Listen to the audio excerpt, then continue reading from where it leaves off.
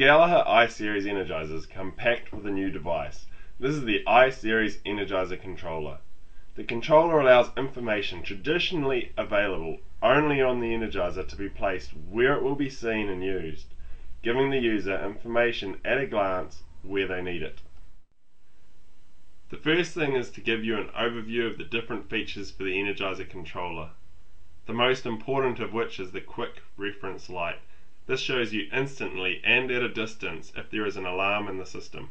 The light will be green if everything is okay and it will flash red when there is an alarm. The second most important piece of information is the voltage bar graph on the right side of the controller.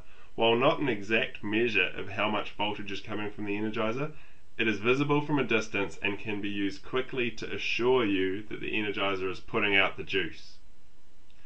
If this only goes into the orange, then you should do some fault finding on your fence to improve performance. If it is only going into the red zone, then the power on your fence may not be enough to control your animals.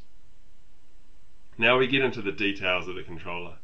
These are things that you may not need to see every day, but if you're going to fault find your fence will provide great assistance. The large digits on the right are voltage measurement and the large digits on the left are the current measurement. Below these we have our connected zone icons displayed. From the left is earth reference and in this example we have three fence monitors connected as 1, 2 and 3.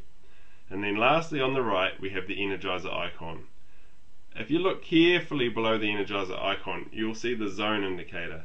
This indicator shows what zone information is currently displayed above in the voltage and current display areas.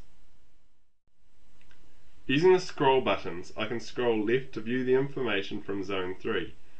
As you can see I have created an imitation fault in that zone so the voltage is below the alarm threshold. The icon turns reverse indicating a voltage alarm but most importantly the quick reference light flashes red. So from a distance I know there is a problem on my fence.